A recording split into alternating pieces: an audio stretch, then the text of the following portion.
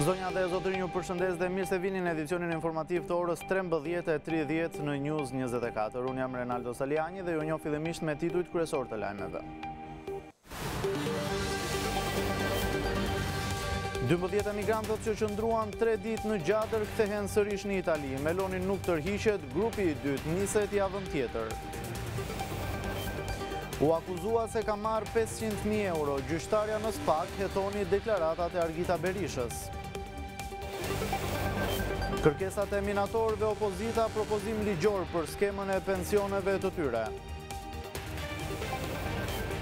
Mes dëshmive kontradiktore për ngacmim të minorenes arestohet 68 vjeçari në Maliq. Dron libanez drejt banesës së Netanyahu-t, kryeministri izraelit dhe familja nuk ishin aty. Tridhjetë të vdekur nga sulmet izraelite në kampin e refugjatëve në Gaza.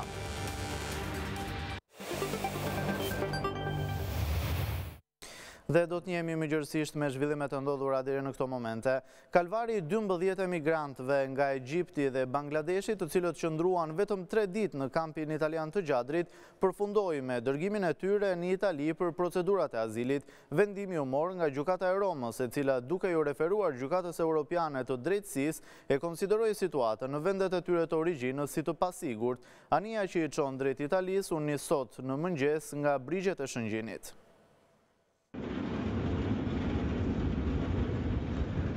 Ka zgjatur më pak se tre ditë kalvari i dymbëdhjetë emigrantëve nga Egjipti dhe Bangladeshi, të cilët qëndruan në kampin italian të Gjadrit. Nga Shëngjini, emigrantët u dërguan drejt Italisë mëngjesin e kësaj të shtune, ku do t'i nënshtrohen procedurave për marrjen e statusit të azilantit. Dy qendrat e ngritura nga qeveria italiane, ajo e Shëngjinit dhe e Gjadrit, tashmë janë bosh. Brenda ndodhet vetëm personeli, të cilët ende nuk kanë informacion se çfarë do të ndodhë në vijim.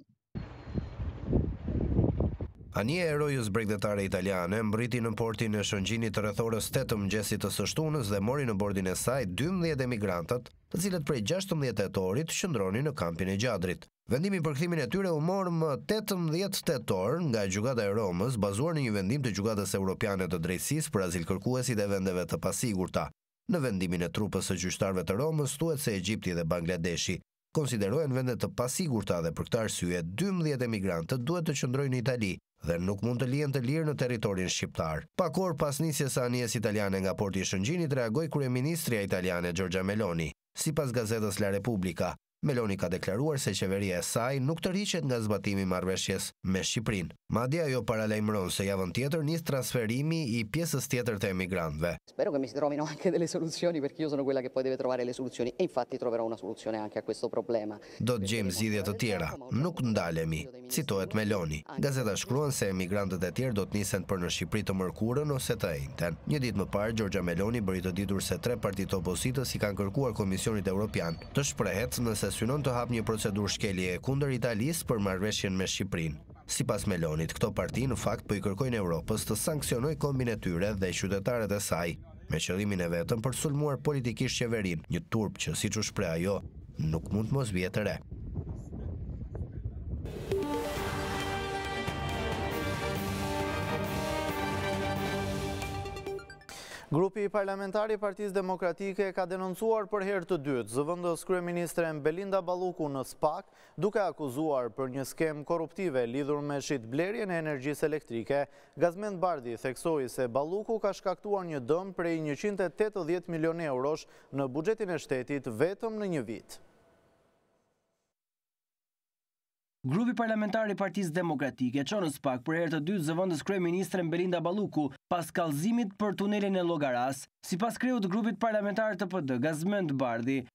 Ministrja e Infrastrukturës dhe Energjetikës, me anë të një skeme korruptive ka abuzuar me shitblerjen e energjisë elektrike, duke shkaktuar një dëm prej njëqind e tetëdhjetë milionë eurosh. Jam sot këtu për të denoncuar publikisht dhe më pas për t'i kërkuar Prokurorisë së Posaçme hetimin e një prej skemave më korruptive të kësaj qeverie, shitblerjes së paligjshme të energjisë elektrike, me një abuzim që vetëm për një vit llogaritet në rreth njëqind e tetëdhjetë milion euro. Përgjegjësja kryesore është ministrja e Energjisë, Belinda Balluku. Sipas nënkryetarit të PD-së, raportet e Entit të Energjisë provojnë se KESH ka shkelur ligjin që prej vitit të kaluar, pasi nuk ka nxjerrë energjinë e kontraktuar në bursë, por e ka blerë shtrenjtë dhe e ka shitur lirë tek kompani private, të pretenduara seksere nga Bardhi. KESH jo vetëm ka blerë shtrenjtë jashtë bursës, por edhe ka shitur lirë po jashtë bursës, megjithëse ligji ia ndalon tregtimin jashtë bursës shqiptare të energjisë. Dëmi llogaritet rreth dhjetë milion euro. Por cila është përgjegjësia e Ballukut, sipas PD?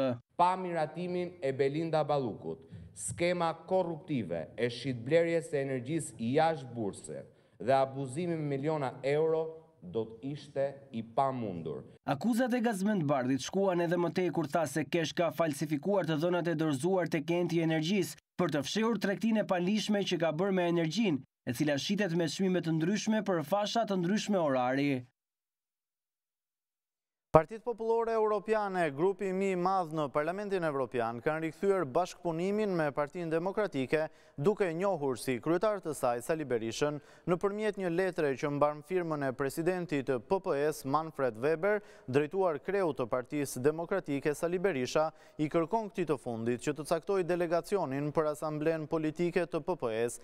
Partitë popullore europiane vendosën të pezullojnë bashkëpunimin me partinë demokratike, në fund të marsit të vitit dy mijë e njëzet e dy, derisa të zgjidhej çështja e përfaqësimit zyrtar të partisë. Tanimë që Gjykata e Apelit i riktheu vulën Sali Berishës, PPE ka vendosur të rikthejë statusin aktiv të partisë më të madhe opozitare në Shqipëri. Ish-kryetarja e GJKKO-së Irena Gjoka, njëherazi edhe gjyqtarja që caktoi masat e sigurisë, arrest në shtëpi për ish-kryeministrin Sali Berisha dhe arrest në burg për dhëndrin e tij Jamarbër Malltezi, ka kërkuar që SPAK të hetojë deklaratat e Argita Berishës, e cila e akuzon gjyqtaren se është korruptuar me pesëqind mijë euro. Tashmë që dosja e aferës Partizani është dërguar për gjykim në SPAK dhe Gjoka nuk mund të jetë pjesë e trupit gjykues, gjyqtarja kërkon që SPAK të hetojë mbi deklaratat e Argita Malltezit gjatë një konference për shtyp të zhvilluar në datën njëzet e tre shtator dy mijë e njëzet e katër, Argita Malltezi deklaroi se të paktën shtatëmbëdhjetë prokurorë dhe gjykatës të strukturës së posaçme janë në dosjen e Encrochat. E madje sipas Argita Berishës, gjyqtarja Gjoka del në një video duke i kërkuar një ish eksponenti të Partisë Socialiste pesëqind mijë euro që të mos e fuste në grup të strukturuar kriminal. Pas publikimit të lajmit reagon vajza e ish kryeministrit Sali Berisha duke u shprehur se ajo e ka ngritur këtë çështje në formën e pyetjes se a ka nën hetim SPAK një çështje të tillë dhe se media duhet të investigojë. Në deklaratën e saj, Malltezi shton se Irena Gjoka po keqpërdor drejtësinë dhe po fshihet pas kolegëve të saj duke shkelur ligjin. Sipas saj, nuk ka asnjë dispozitë ligjore që i jep të drejtë SPAK të hetojë një çështje ku ankues ose i paditur është një prokuror apo gjyqtar i drejtësisë së posaçme. Kjo, thotë Malltezi, është një praktikë ekstraligjore dhe abuzive e krijuar nga vetë ata. Argita Malltezi vijoi përsëri duke i drejtuar pyetje Irena Gjokës, duke i kërkuar asaj të përgjigjet nëse është përzënë nga Greqia për vepra të dënueshme dhe se a ekziston një video e gjetur në shtëpinë e një gazetari të larguar nga Shqipëria në të cilën gjyqtarja e GJKKO është regjistruar me qëllim shantazhi duke negociuar me një ish-deputet të Partisë Socialiste marrjen e shumës prej pesëqind mijë eurosh në këmbim të lehtësirave ligjore shfajësuese për këtë ish-deputet.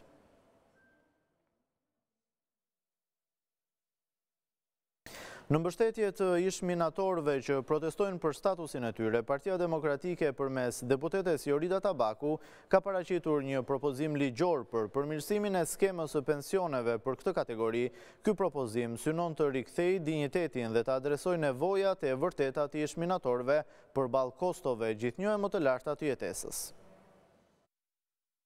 Dhjetëra ish-minatorë të cilët protestojnë për statusin e tyre përpara Kuvendit prej muajsh me radhë do të mbështeten nga Partia Demokratike në kërkesat e tyre. Deputetja Jorida Tabaku së bashku me disa deputetë të tjerë të opozitës kanë gati propozimin ligjor që synon përmirësimin e skemës së pensioneve për minatorët.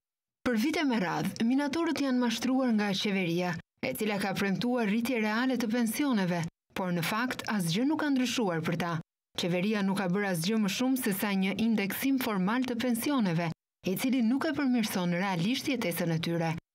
Sipas opozitës, janë mbi një mijë minatorë përfitues të pensioneve, ndërsa mbi trembëdhjetë mijë të tjerë përfitojnë nga statusi i minatorit.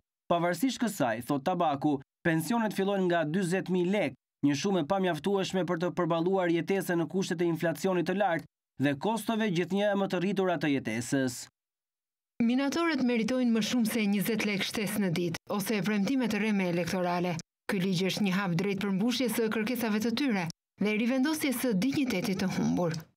Tabaku dhe deputetët e opozitës theksojnë se ky ligj synon një rritje të drejtë dhe të merituar për pensionet e minatorëve duke theksuar një standard të ri që i përgjigjet realisht nevojave të kësaj kategorie punonjësish. Demokratët kritikojnë ashpër qeverinë për përdorimin e skemave të koncensioneve dhe PPP-ve, që sipas tyre kanë shpërdoruar miliarda nga buxheti i shtetit, ndërkohë që për minatorët janë ofruar vetëm premtime boshe dhe simbolike. Teksa jemi rreth 7 muaj larg zgjedhjeve të përgjithshme, në terren ka nisur beteja politike dhe akuzat. Drejtuesi politik i Partisë Demokratike për qarkun e Beratit, Eno Bozdo, denoncon se Partia Socialiste ka shpërndarë formularë ku u kërkon punonjësve të administratës të sigurojnë dhjetë vota emigrantësh. Formulari që shihni në ekran po i shpërndahet administratës publike, qendrore dhe vendore në Berat. Partia Socialiste, drejtuesit e saj qendrorë dhe vendorë po i bëjnë presion çdo të punësuari në sektorin publik të plotësojë këtë formular, duke i kërkuar atyre me forcë të sigurojnë të paktën dhjetë vota të familjarëve apo miqve tyre që janë në emigrim. Pra punonjësit publik duhet të gjejnë patjetër dhjetë emra, votues të sigurt, ndryshe vendi i tyre i punës fluturon. Një thirrje për të gjithë drejtuesit e Partisë Socialiste në Berat dhe më tej. Çdo përpjekje për të kërcënuar apo shantazhuar punonjësit e administratës do të marrë përgjigjen e merituar. Paraditën e datës njëzet e nëntë tetor, kryeministri Edi Rama do të presë në kryeministri eurodeputetin Fredi Beleri, pjesë e një delegacioni të Parlamentit Evropian. Lajmi bëhet i ditur nga e përditshmja greke To Vima, e cila vlerëson si takimin e vitit. Takimi i cili është parashikuar të zgjasë dyzet e pesë minuta, Sipas gazetës greke, Beleri do të jetë pjesë e delegacionit për Komisionin Parlamentar të Bashkimit Evropian për Stabilizim Asociimin me Shqipërinë. Beleri do të takohet me kryeministrin e Shqipërisë si deputet i Parlamentit Evropian, me njeriun që e mbajti në burg për katërqind e tetëdhjetë e një ditë për të mbajtur jashtë zyrës së kryetarit të bashkisë në Himarë, shkruan To Vima. Gjatë qëndrimit në Tiranë, delegacioni i Parlamentit Evropian do të takohet me kryetaren e Parlamentit Elisa Spiropali, përfaqësues të partive politike dhe ambasadorin e Bashkimit Evropian në Tiranë, Silvio Gonzato.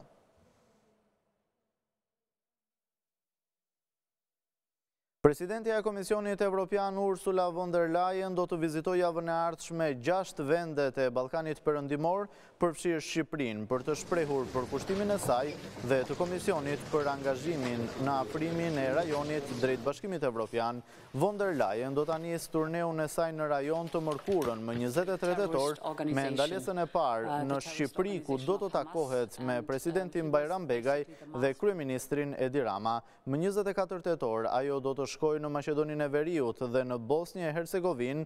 Në Serbi, von der Leyen do të shkojë më njëzet e pesë tetor, ku do të takohet me presidentin serb Aleksandar Vuçiç. Von der Leyen do të udhëtojë më pas në Kosovë, të shtunën e njëzet e gjashtë tetorit, ku do të takohet me presidenten Vjosa Osmani dhe kryeministrin Albin Kurti.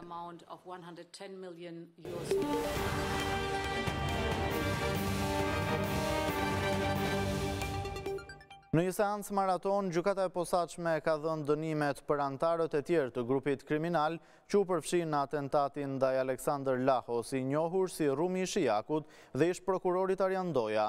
Nga atentati mbeti i vrarë shoferi i prokurorit Andi Maloku, GJKKO ka dënuar me 6 vite burg Ramazan Rrajën Nipin e ish-deputetit socialist Rrahman Rraja, ndërkohë që Genti Ndërjaku është dënuar me pesë pikë katër vite, Bashkim Haxhia dhe Endrit Sinani janë dënuar me nga katër pikë tetë vite burg, si dhe Julian Pjetri me katër pikë katër vite. Në total, ata janë dënuar me njëzet e pesë vite burg. Sipas Prokurorisë së Posaçme, këta shtetas nga gushti i vitit dy mijë e nëntëmbëdhjetë kanë nisur ndjekjen e Ndojës dhe Lahos dhe kanë siguruar armët dhe mjetet për të kryer vrasjen, Gjithashtu, grupi kriminal, pas dështimit të objektivit, ka siguruar kushte për të kryer vrasje edhe pas atentatit të një nëntori të vitit dy mijë e nëntëmbëdhjetë. Për këtë ngjarje është dënuar me burg përjetë Redian Raja, si autor i atentatit dhe me tridhjetë e pesë vite burg Ariol Halili si bashkëpunëtor.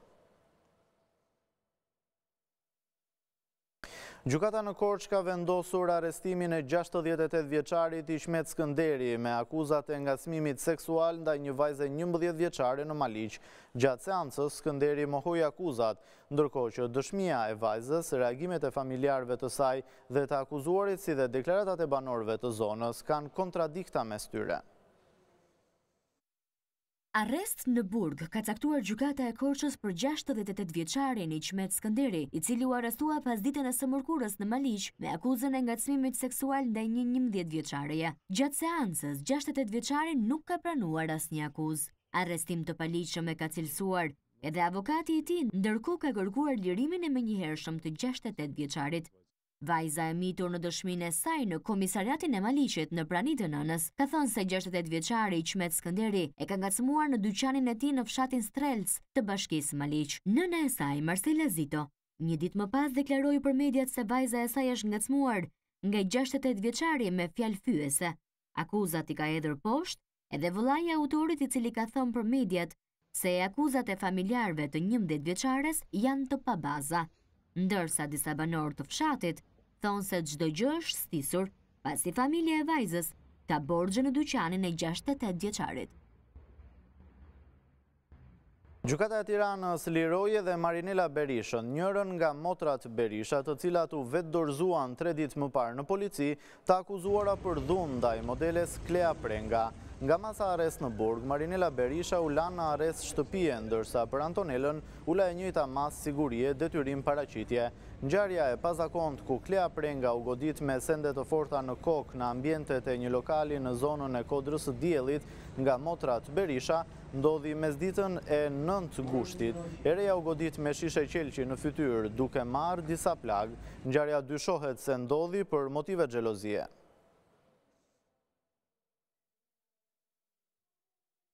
Një aksident rrugor ndodhi sot në rrugën Shenjtë Leonardo Murialdo në Unazën Lindore të qytetit të Fierit. Një motor u përplas me një biçikletë duke plagosur dy drejtuesit e mjeteve.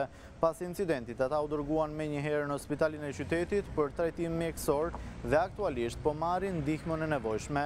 Ende nuk dihen detaje të sakta mbi shkakun e aksidentit, si dhe gjendja shëndetësore e personave të lënduar. Autoritetet janë duke punuar për të marrë dëshmitë e nevojshme dhe për të përcaktuar përgjegjësitë e mundshme në këtë rast.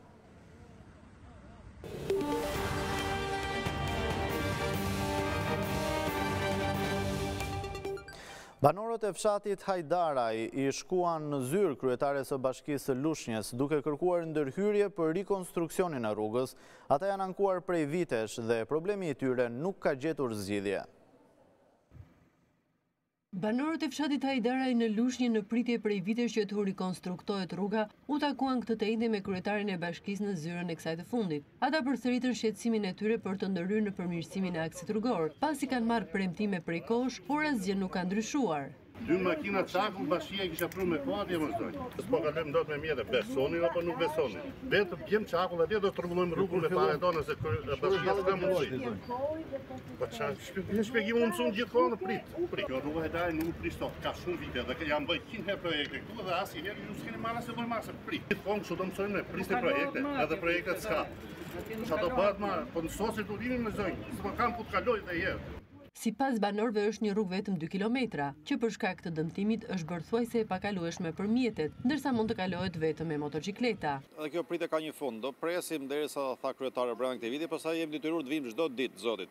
Deri kur të na shtrohet rruga si gjithë fshatet e tjera. Ktu kanë dalë gurë, ktu, ktu është e pakalushme.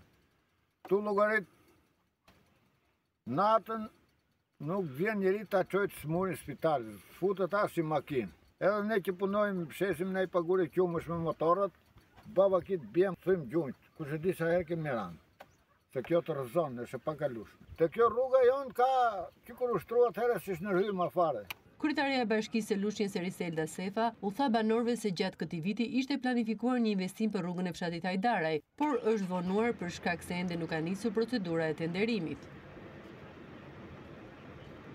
Një studim i fundit i Bankës Botërore thotë se shpejtësia mesatare e lëvizjes së mjeteve në Shqipëri Është rreth tridhjetë e tre kilometra në orë, tipar ky i vendeve të varfra. Për News njëzet e katër, eksperti i sigurisë, Arben Luzi, tregon se si cilësia në infrastrukturën rrugore nuk përputhet me rregullat e qarkullimit rrugor. Një studim i fundit i Bankës Botërore tregon se shpejtësia mesatare e automjeteve në vendin tonë në ecje është tridhjetë e tre kilometër për orë, cilësi kjo e vendeve të varfra në botë. Cilësia e dobët e rrugëve në Shqipëri shpesh bën që drejtuesit e mjeteve të ulin shpejtësinë nën normën e lejuar, gjë që ndikon negativisht në lëvizjen e trafikut dhe sigurinë. rrugore. Në këtë studim të Bankës Botërore, në Europë, Shqipëria lë pas Bosnjën, Ukrainën, Malin e Zi, Armeninë dhe Gjeorgjinë. Më pas në renditje vijnë vendet e Afrikës, Azisë dhe Amerikës Latine. Eksperti i sigurisë rrugore, Arben Luzi, e konsideron shqetësues faktin që shumë mjete lëvizin nën shpejtësinë e parashikuar nga Kodi Rrugor, duke ndikuar negativisht në nxitjen e trafikut dhe sigurinë e lëvizjes. Më tepër në uljen e shpejtësisë ndikojnë rrugët rurale, rrugët lokale, të cilat janë jashtë kuadrit të rrugëve të asfaltuara. Shpesh ne themi që ecja me shpejtësi, ecja me shpejtësi, po dhe ecja me në drejtuesi i mjetit thuhet në kodin rrugor, nuk duhet të ecë me shpejtësi që të paraqisë rrezik. Sigur 2 sekonda, 3 sekonda të bëjë ai vonesën Në lëvizjen e tij ose pesë sekonda, një minutë, mendoj që çdo një sekondë shtohen 3, 4, 5 makina të tjera, 60 minuta se sa makina bëhet vargu i makinave që vijnë pas. Cilat janë standardet e rrugëve në Shqipëri që bëjnë qytetarët të ulin shpejtësinë nën normën e lejuar? Duhet të ketë sinjalizime, duhet të ketë të gjitha, po jo të bëhet rruga autostradë dhe ne të vendosim akoma kufizime shpejtësie me gjashtëdhjetë me shtatëdhjetë kilometra në orë, ose kufizime më skandale janë kufizimet me tridhjetë e dyzet kilometra në orë, që një drejtues mjeti duke qenë me me nëntëdhjetë apo njëqind e tridhjetë kilometra në orë lëvizjen me shpejtësi, nuk mundet që ta mbledhë dot mjetin dhe ta kalojë direkt pas tabelës me me gjashtëdhjetë apo qoftë dhe me shpejtësi akoma më të ulët. Lëvizja në pjesën qendrore të vendit vazhdon të jetë e ngadaltë për shkak të trafikut të rënduar, veçanërisht në aksin Tiranë-Durrës. Investimet në infrastrukturë vitet e fundit janë përqendruar kryesisht në jug të vendit. Kryeqyteti po përgatitet të presë Maratonën e Tiranës, një eveniment i kthyer tashmë në traditë që zhvillohet për të tetin vit radhazi. Pesë mijë garues nga e gjithë bota do të jenë pjesëmarrës në këtë maratonë, ndërsa pjesa më e madhe e rrugëve të Tiranës do të bllokohen të dielën për shkak të saj. Për të tetin vit radhazi, në Tiranë do të zhvillohet Maratona e Vrapit, një eveniment që tashmë i ka kaluar kufijtë dhe do të sjellë në kryeqytetin shqiptar garues nga pesëdhjetë shtete të ndryshme. Kemi rreth pesë mijë garues këtë vit, rreth një mijë më shumë se vitin e kaluar dhe nga pesëdhjetë shtete. të gjithë botës do të thoja, sepse ka përfaqësues nga Azia, nga Kanadaja, nga Amerika, nga Europa pa diskutim nga destinacionet le të themi dhe nga shtetet kufitare dhe fqinje që janë në numrin më të lartë dhe kjo shkon rreth 1000 garues të huaj që përkthehet në turizëm, përkthehet në një promovim të qytetit. Drejtoresha e Përgjithshme e Promovimit të Qytetit, Mirela Koçollari, kërkon mirëkuptimin e qytetarëve për rrugët që do të bllokohen ditën e diel. Duam mirëkuptimin edhe përqafimin le të themi të gjithë qytetarëve për të qenë sa më mirëkuptues, sepse rrugët e qytetit pjesa më e madhe do të bllokohen. Bllokimi do të bëhet në orën 8 të mëngjesit deri në orën 2 të drekës dhe do të do të bllokohet pjesa e Bulevardit të Ri, rruga e Kavajës, rruga e Durrësit, Myslim Shyri, Pastaj pjesa e liqenit nuk do të ketë ndonjë problem se ajo është vetë një një zonë pedonale. Pjesa mbrapa, mbrapa institucioneve shtetërore, një pjesë e rrugës së Elbasanit. Maratona është e ndarë në disa kategori, prandaj kushdo mund të vrapojë. Full maraton, pra kategoria e dyzet e dy kilometrave, janë dhe kategoritë e tjera si njëzet e një që është gjysëm maratona, dhjetë kilometra që është më pak impenjative dhe We Too për njerëzit që janë me aftësi ndryshe dhe me karroca. Kryebashkiaku Veliaj kishte një apel për qytetarët, si për ata që janë sportivë ashtu edhe për ata që duan të pushojnë. ftesa për gjithë qytetarët, nëse janë tipa të vrapit edhe të sportit, të dalin dhe të na bashkohen. Nëse janë tipa të gjumit edhe të fundjavës, ose të rrinë në shtëpi të pushojnë që të lirohen rrugët, ose nëse duhet të dalin për fundjavë, të dalin përpara orës 7 e gjysmë 8 kur ne fillojmë, le të themi, mbylljen totale. Ndërkohë, prej dy ditësh në sheshin Skënderbej ka nisur shpërndarja e numrave për të gjithë ata që do të garojnë në maratonë të dielën. Publicitet, rikthehemi pas pak.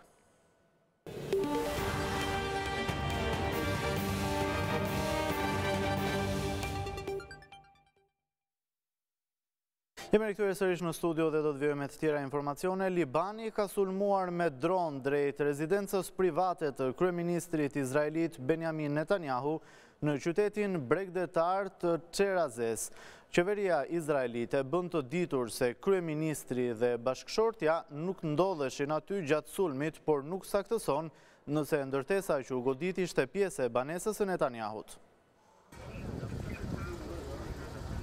Një dron është lëshuar drejt rezidencës private të kryeministrit izraelit Benjamin Netanyahu në qytetin bregdetar të Cezaresë, ka njoftuar zyra e tij. Kryeministri dhe bashkëshortja nuk ndodheshin aty dhe nuk pati të lënduar në incident, thuhet në deklaratë.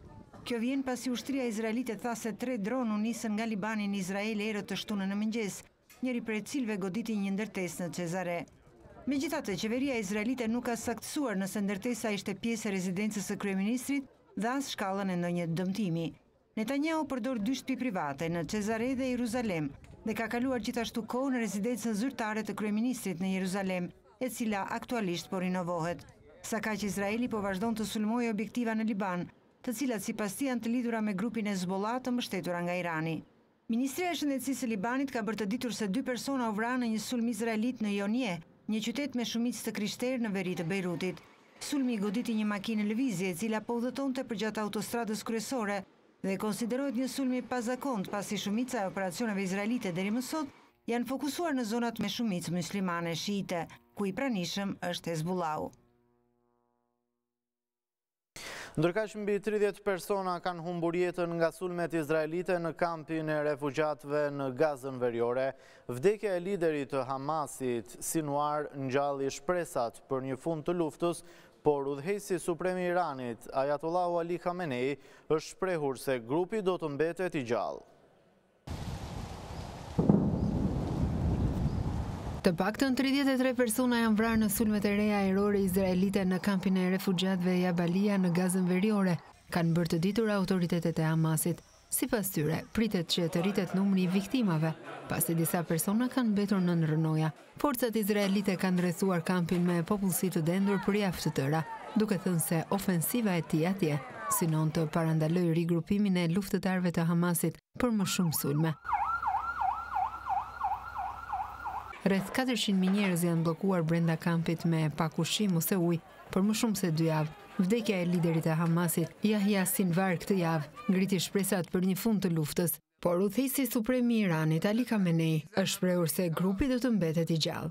Humbja e tij është e dhimbshme për Frontin e Rezistencës kundër Izraelit, por nuk do të përfundojë aspak me martirizimin e Sinwarit. Ai është një fytyrë e ndritur e rezistencës dhe luftës. Me vendosmëri të çeliktë, ai qëndroi kundër armikut shtypës dhe agresiv. Luftimet vazhdojnë edhe në Liban, ku Izraeli ka kryer një pushtim tokësor kundër Hezbollahut. Ushtria izraelite thotë se vrau rreth gjashtëdhjetë luftëtarë të Hezbollahut dhe shkatërroi qendrën komanduese rajonale të grupit të mbështetur nga Irani me një sulm ajror, ndërsa Hezbollahu thotë se hodhi raketa në qytetin izraelit të Haifës, dhe zonat në veri të tij. Forcat e Mbrojtjes së Izraelit kanë bërë të ditur se rreth njëzet raketa kaluan në Izrael nga Libani vonë të premte mbrëma. Disa u kapën dhe të tjerat ranë në zona të hapura, kanë shtuar më tej forcat izraelite. Për Shtetet e Bashkuara, vrasja e udhëheqësit të Hamasit është një pikë kthese për armëpushimin në Gaza. Pavarësisht optimizmit të Uashingtonit, kryeministri izraelit premton vijimin e luftës. Udhëheqësi i Hamasit Yahya Sinwar ishte pengesa kryesore për sigurimin e një armëpushimi në konfliktin e Gazës dhe vrasja e tij nga forcat e mbrojtjes të Izraelit krijon një pikë kthese që mund të përshpejtojë bisedimet për mbylljen e luftës tha të premten zëdhënësi i Shtëpisë së Bardhë John Kirby. Sinuar ishte arkitekti i bastisjeve ndërkufitare të grupit më shtatë tetor dy mijë e njëzet e tre, që u bë dita më vdekjeprurëse në historinë e Izraelit dhe shkaktoi luftën në Gaza.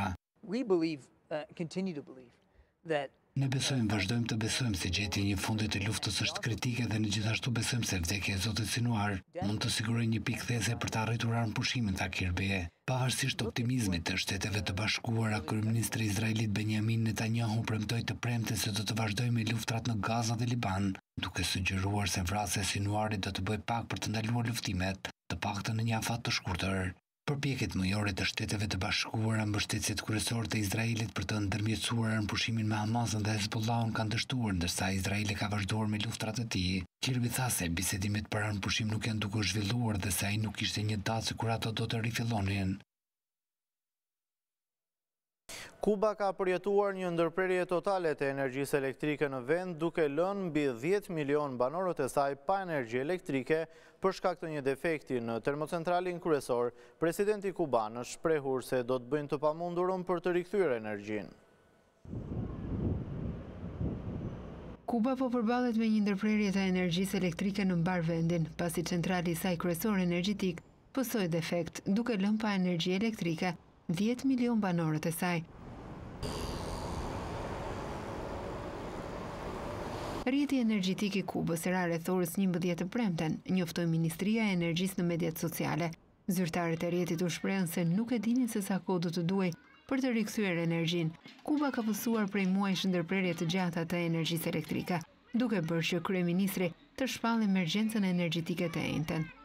Ndërprerja totale e së premtes erdhi pasi termocentrali Antonio Guiteras në Matanzas, më i madhi në Kubë, doli jashtë kontrolli. Presidenti Miguel Bermudez tha në platformën X se kjo situatë është përparësia e tij absolute. Ne po i kushtojmë vëmendje absolute zgjidhjes së kësaj emergjence energjetike shumë të ndjeshme për kombin. Nuk do të gjejmë qetësi derisa të rikthehet energjia. Sakaq, drejtoresha e Furnizimit me Energji Elektrike në Ministrinë e Energjisë është shprehur se procesi i rivendosjes së energjisë elektrike është në fazat e para. Zyrtarët njoftuan të premten se aktivitetet jothelbësore, përfshirë klubët e natës, do të mbylleshin deri të hënën, ndërsa shumë punonjësve, Iu kërkua të qëndronin në shtëpi. Kubanëve u është kërkuar gjithashtu që të mos ndezin pajisjet me konsum të lartë, si frigoriferët dhe furrat gjatë orëve të ngarkuara.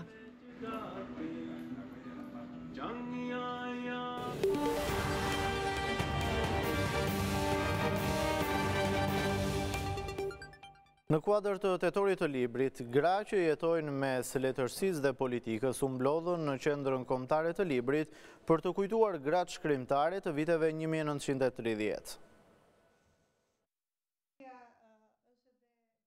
Në kuadër të Tetorit të Librit, takimet për librin dhe përkthimin synojnë të nxisin vëmendjen ndaj letërsisë në diskursin publik. Shpesh kjo vjen duke rikujtuar figurat që shkruan rrugën Në kohë të vështira si shkrimtaret e viteve tridhjetë, Ollga Plumbi, Musine Kokalari, Urani Rumbo, Milla Vangjeli e të tjerë që patën një fat të trishtë gjatë diktaturës, por mbetën pika reference. Libri, unë jam shumë e nderuar që me një panel grash që janë bërë bashkë në jetën e tyre, jo vetëm nga shkrimi, por edhe janë bashkuar, e kanë përdorur shkrimin për të hyrë në politikë, për Ta përdorur politikën për të mirën e të gjitha e përbashkët, të të gjithë neve, të flasim pikërisht për këto gra, por edhe për gra të tjera, të cilat kanë bërë dhe kanë pasuruar mendimin në historinë e kulturës shqiptare.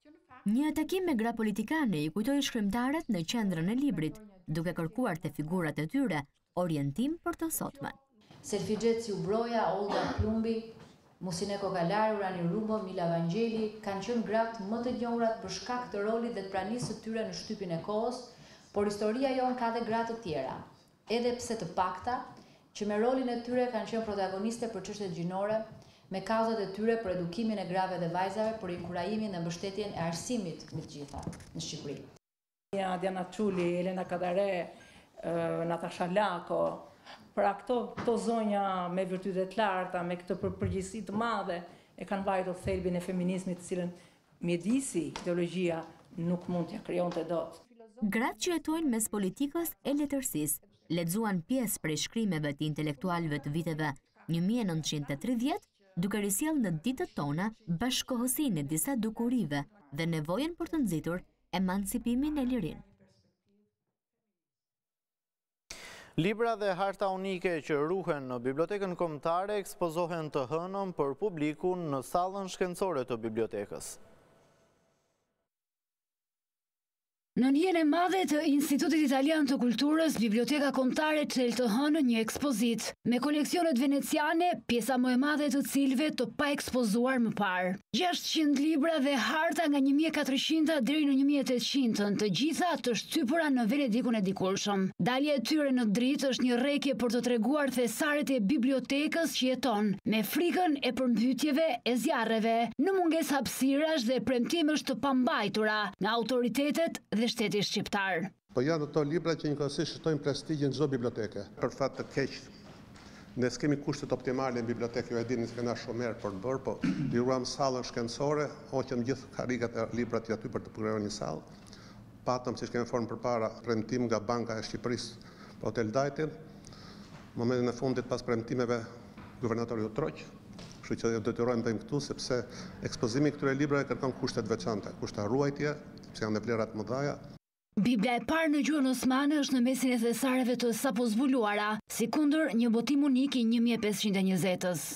Një libër i vogël që kemi ne i një mijë e pesëqind e njëzetës, që ne nuk e quanim me ndonjë vlerë, rezultoi prej tyre, sepse ne nuk e dinim, që është libër shumë i rrallë, që ka vetëm një kopje në British Library, dhe kopjen e dytë e paskemi ne.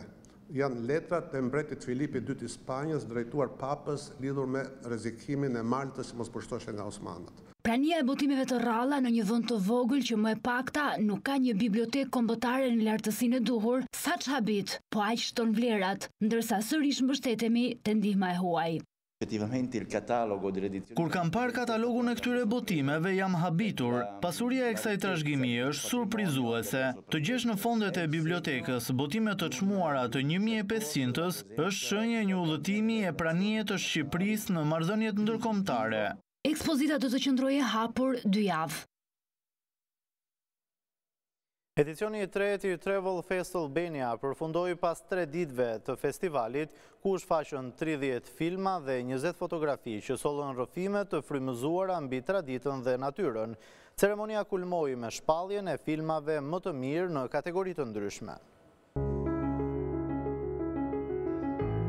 Edicioni i tretë i Travel Fest Albania u përmbyll me ceremoninë e ndarjes së çmimeve, ku morën pjesë dashamirës të filmit dhe artit nga e gjithë bota. Për 3 ditë me radhë u shfaqën 30 filma dhe u ekspozuan 20 fotografi që sollën rrëfime frymëzuese mbi traditën, trashëgiminë dhe natyrën e egër. Ceremonia kulmoi me shpalljen e 12 filmave më të mirë në kategori të ndryshme, Çmimi për filmin më të mirë në kategorinë Mjedisi dhe Ekologjia shkoi për regjisoren italiane Rafaela Loruso me filmin Neverland. Ndërkohë, në kategorinë Shqip triumfoi regjisori Adrian Guri me filmin e tij Shpëtimi i lumit Vjosa, përtej historisë, çmimin kryesor të festivalit Filmi më i mirë i edicionit e rrëmbeu produksioni britanik Kur peshqit fillojnë të zvarriten me regjisor dhe kompozitor Jim Sutherland. dhe skenariste fituesen e disa çmimeve BAFTA, Morag McKinnon, nga Mbretëria e Bashkuar. Ky triptik impresionues 65 minutësh, me një kolonë zanore simfonike të interpretuar nga Orkestra Kombëtare e Skocisë, rrëfen një histori universale për lidhjen e thellë të njerëzimit me natyrën dhe kohën. Travel Fest Albania synon të nxisë krijimtarinë dhe ndërgjegjësimin për çështje mjedisore, duke ofruar një platformë të fuqishme për artistët nga e gjithë bota. Festivali jo vetëm që vlerësoi talentin e regjisorëve dhe fotografëve, por dha edhe një mesazh të rëndësishëm për ruajtjen e trashëgimisë natyrore dhe kulturore. Tre kompozitorë që bënë epokë bëhen bashkë në një koncert artistësh nga 13 vende të botës nën titullin Mendelssohn dhe Miqtë. Koncerti e nis rrugën në Tiranë dhe më pas pasi takon Ballkanin, mbërrin në Gjermani.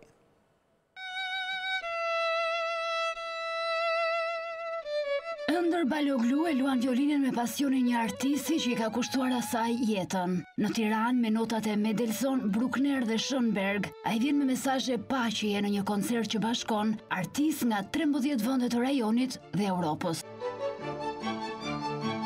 Basically, a peace project. Është një projekt paqeje me orkestrën e Ballkanit Perëndimor. Ne jetojmë në Gjermani dhe shumë prej nesh jemi të huaj atje. Gjejmë disa paralele që t'i përkasim një bote ku paqja prevalon. Muzika po bëhet një himn për të gjithë ne. Mbase qëllimi i njerëzimit duhet të jetë të krijojë muzikë e të shijojë jetën. Për pianistin e dirigjentin Desar Sulejmani, një koncert që bashkon kompozitorë të kohëve e kombësive të ndryshme me artistë profesionistë e të rinj, është një përpjekje që përmes muzikës të zhbëjë daullet e luftës.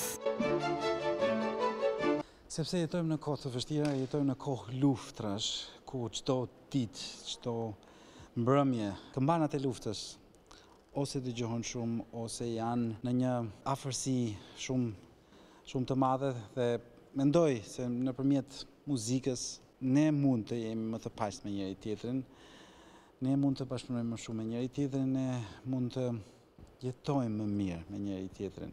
Nëse do mundemi që këmbanat e luftës të jenë më të ulta Pse jo?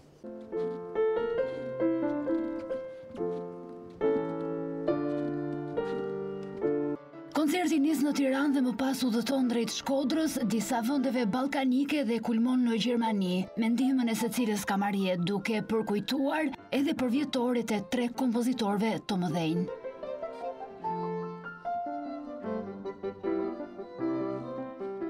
Publiciteti rikthehemi pas pak në studio.